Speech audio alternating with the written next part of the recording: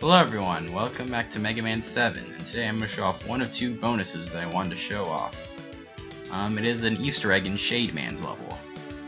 That is to say that if you hold down the B button, and just to note, you have to have Shade Man not beaten um, before you do this so you can see his icon, and if and uh, you hold down the B button, and you'll get this.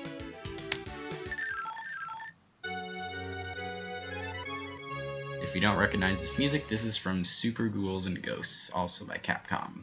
And there's also an alternate path I want to show, so enjoy. I'm not going to commentate.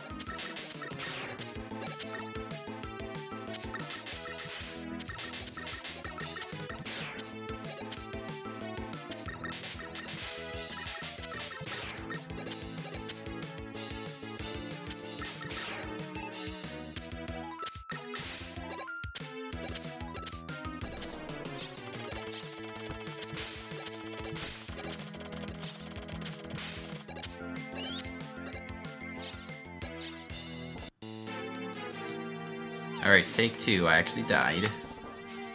Anyway, to get to the alternate pathway, you have to hit him in the eyes rather than in the mouth. Like you hit him there, you can also hit him in the eyes. Like that, if you can see it.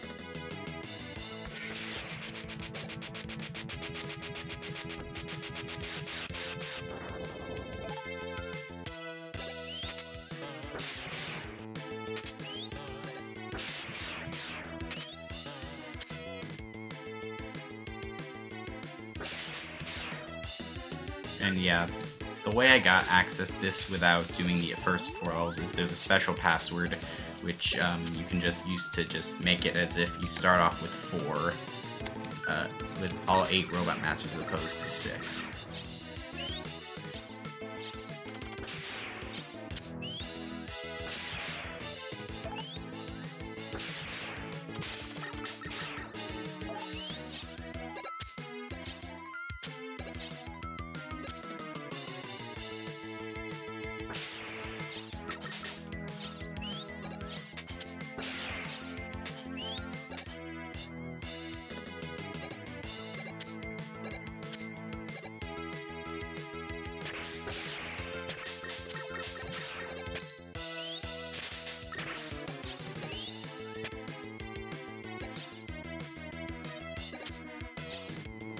And yeah, this is where we're let off. There's Bass again.